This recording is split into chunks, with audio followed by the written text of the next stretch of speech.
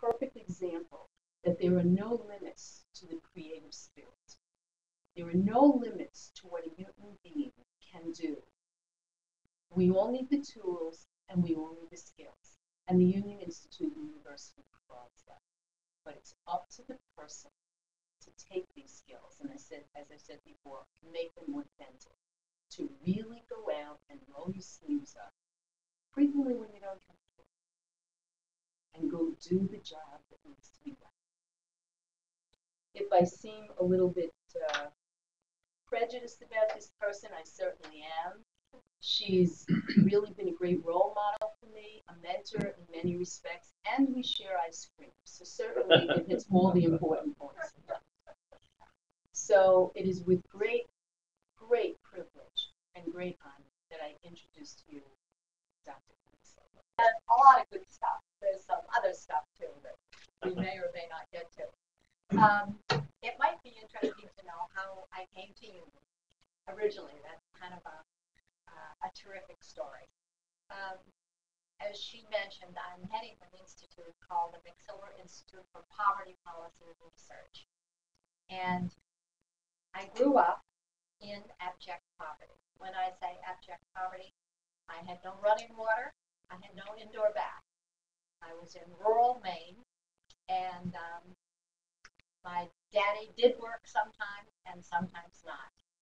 Uh, at eight years old, he told me that I don't have any money and I'll never have any money, and if you want any money, you've got to get a job.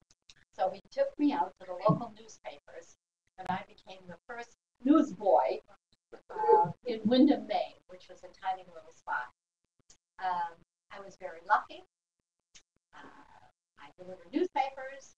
Uh, at the age 14 in Maine, you could get a driver's license when you were 14 because we had to drive potatoes to the market. We were a huge potato growing state. And my father said any money that I made, I could spend any way I wanted. So I saved over my paper route and so forth, I had saved uh, $75. And I took that $75 and I bought a car. Now, you have to only see what a $75 car is. and, but my big expense was reconditioned tires. And they were $6 each. And I would go through those tires because I was on the back, really the back roads in Maine. And I had the best job of my life at that point. I started a taxi service. And I used to drive the other kids to school because school was a long way away. And the school uh, trip, I charged them a quarter a week. And five years later, I sold my car for $125, so that was a good deal. At any rate, because I was a poor kid, there was no possibility of I ever going to college. And as a matter of fact, my uh, high school, she was a nasty old advisor, used the following words to me. She said, You're not college material, so let's learn to type and do shorthand. So those words step, stay here. I'm not college material. Didn't exactly know what that meant. But, and so didn't go to college. At age 35, I met this wonderful woman in my building who was about 75 and she said to me, um, when did you go to college? And I said, well, I didn't. She said, why? I said, I'm not college material. And she said, what hell does that mean?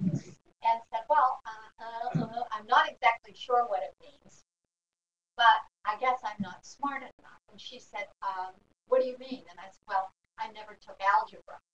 That was my criteria for being smart. And she said, do you know what I do? And I said, no. She was a nice lady I met in the elevator. And she said, well, I'm a mathematics professor. I have a PhD in mathematics. And she said, I've seen you up and down in this elevator for years. And she said, what do you bet that it would take me three weeks to teach you algebra? And I said, I'll bet you anything that you can teach me algebra. Well, she did. And the deal was that if she taught me how to do some algebraic formulation, that she would take me down to New York University and I would sit for something called a life experience test because I couldn't possibly sit for an SAT because I hadn't had algebra, I hadn't had anything. So NYU had this wonderful program, and it was originally very much like Union. It was for women, basically women over 35. Their children had grown up, and these ladies were able to start college. And the test was marvelous. It was a test that they gave me six paragraphs to read. And they said, after these six paragraphs, we're going to give you a test on what you've read. Well, that didn't bother me too much because there were six terrific paragraphs about something or other. And then they gave me a test on the paragraphs. And the paragraphs, it was said, what happened to George and why did Frank do this, et cetera, et cetera. And I passed with flying colors and started NYU. And at that time, I got myself a bracelet. And it was like a little ID bracelet. And the bracelet said, Dr. C in 83. So I knew that by 1983, I'd better get a PhD. That was my goal. And I went day and night, weekends, summers, and I finished my bachelor's at NYU. And, and I couldn't wait, I never did, but I wanted to tell that nasty old advisor that I was the New York University Honor Scholar. I got the highest grades. I was also elected president of the senior class. I was the first woman to ever be president of the senior class. I then I finished college in three years. Then I went to a master's program, which I finished in about eight months. And now I knew I looked at that bracelet, I better get busy and see about getting a PhD. And I just felt that I couldn't sit there another moment longer because I've been sitting there for a number of years and I thought I've got to see a program, find some program that will enable me to do that, where I can do it my own pace and I can study what I wanted to study and what I wanted to become. I had a master's degree in social work, but what I wanted to become was a psychoanalyst. And lo and behold, Union gave me a doctorate in psychoanalysis. I took all my courses at a psychoanalytic institute. I took some at William Alanson White. I took many at the New York Academy of Medicine. And I had the best, fantastic people at Union. You know what Union is. We, we are here with people from all different um, programs. And um, I got through my doctorate. I had eight people on my committee and uh, it was a tough committee. However, I got through it, and uh, getting the doctorate union. Talk about talk about justice. Getting the doctorate union allowed me to do something that it would have taken me a long time to do, and it allowed me, as a PhD, to teach at NYU because they weren't giving any teaching assignments to anyone that wasn't a PhD. So very early on, I got uh, st- I started teaching at NYU, and that was many years ago. I'm now in my mid 70s, so I've been there a very long time, and I credit Union with giving me this vital piece of education, which there's nothing like it. When I come here, it's like you talk about a homecoming. This is a homecoming. You folks that are in this program are just the luckiest people in the world. You're going to meet unusual people. You have no idea where this is going to take you, but it can take you anywhere you want. And, and I heard Arlene say, roll up your sleeves. Roll them up if you don't even have sleeves. Roll them up because this is a great program. Now, what is urban justice? Mm, there's a, a, a wonderful center called the Urban Justice Center in New York, by the way. And the Urban Justice Center, I'll tell you who they work with. You'll find this terrific. They do homeless outreach. They do something called sex workers. They don't call them prostitutes, they call them sex workers. And the Urban Justice Center was formed by a guy who he was uh, his daddy, I think, was one of the founders in Germany of Bayer, which is one of the great pharmaceutical firms in the world. And this fellow decided he didn't want to go into the pharmaceutical business, and he had enough stock that he could do just about what he wanted to do. And he formed the Urban Justice Center. And what he does at the Urban Justice Center is get all kinds of volunteer social workers, PhDs, and many, many lawyers who'll give their time. And sex workers, he, they defend all the gals that are getting arrested. They defend street vendors. These are people, they defend the guys that wash the windows, the homeless. I mean, they do the most enormous job. There are probably maybe 400 lawyers now that are in there. That's urban justice. That's what these people do. They have a job during the day, and they give weekends, and they give nights, and they work for the benefit of, people that couldn't possibly afford them. Now, about, mm, as you said, maybe five years ago, I wrote a program called, uh, it was called the McSilver Institute for Poverty Policy and Research. And my original plan, which it's still pretty much what's happening, is um, to look at, to be a repository of knowledge, and to look at programs in the city. We started in the city of New York that I thought were failing. Now, keep in mind, I'm a social worker, and my field was death and dying. I worked for years with um, folks with AIDS, and I was working with folks with AIDS in 1981 82 when they didn't have a name for AIDS. They called it the gay node disease. And these guys, these poor souls, were dying within three months of data diagnosis. It was long before you saw anything that called a protease inhibitor. They weren't anywhere on the scene. And these fellows at that time, uh, the stigmatization, you cannot even begin to imagine. If any of you were around in that period, you know that everybody was afraid. They didn't know how do you get it, and uh, people lost their jobs, they lost their apartments, they couldn't get insurance. Families, their own families, often didn't even want them in the house. These young men and some women, they died. There was no nothing about not dying. They died, and they died in the worst possible way. They died of uh, pneumonias and, and cancers and uh, brain issues and, and, and, fungus here and there. Um, the one thing they did all was die. And so I remember one particular, and this kind of motivated me thinking of justice. I went to visit a fellow in the hospital, and he had about, and I, I being working with him, I figured he had about three weeks to live, and he actually had about four weeks to live. And he was covered with Kaposi sarcoma. He had spots. He had pneumocystic pneumonia. He was in terrible shape. He'd lost 40 pounds. And I went in to visit him, and I sat on his bed.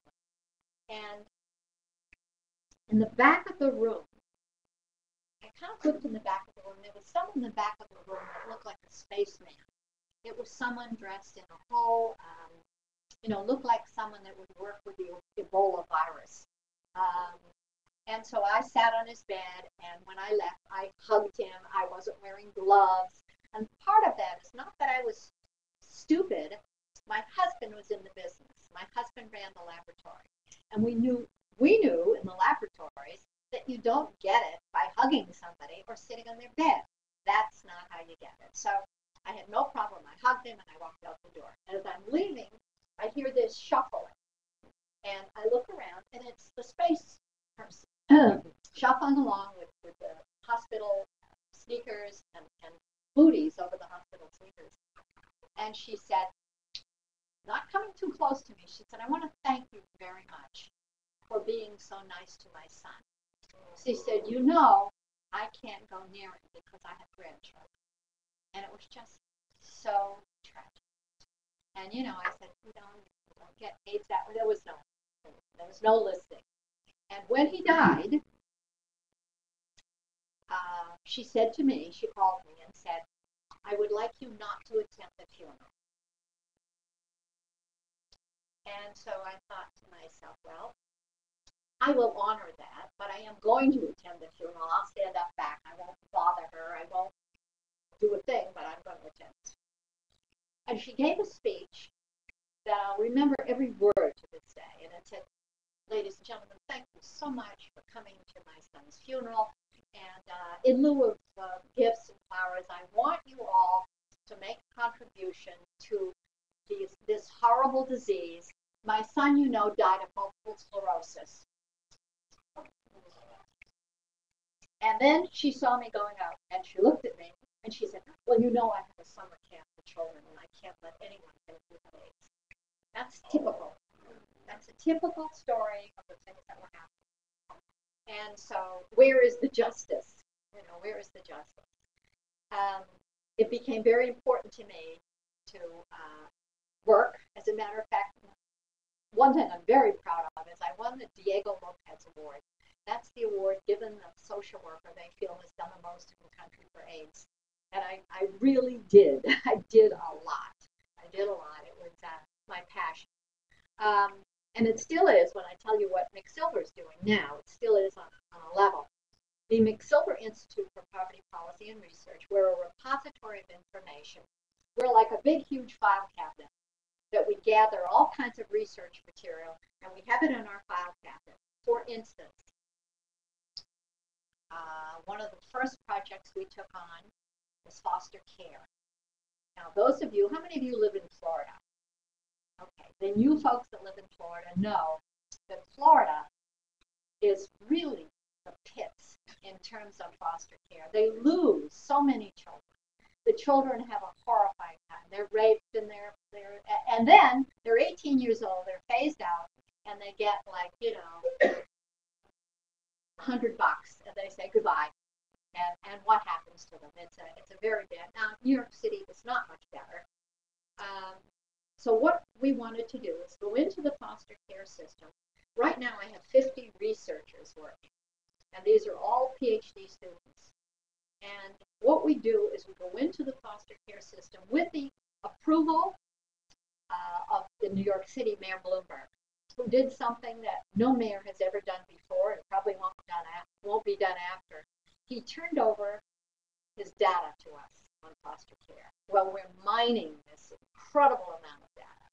And our job is to look at it and find the flaws, find out what's wrong, find out what's needed, present it to the city, and hopefully be involved in some of the remedial work. Now, uh, the NYU School of Social Work, it's the NYU Silver School, we have, and this is shocking to imagine, we give the city of New York 600,000 hours a year on the street.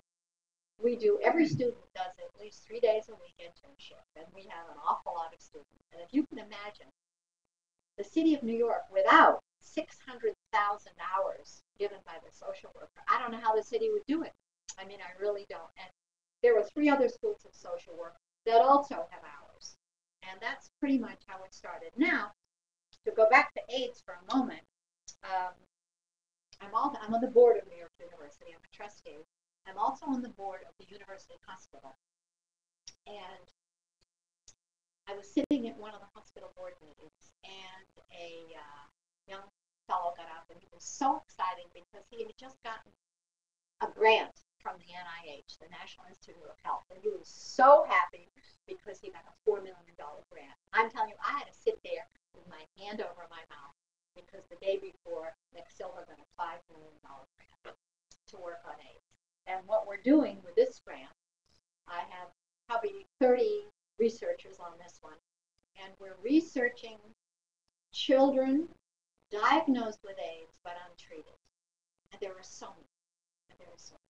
And the medications are free.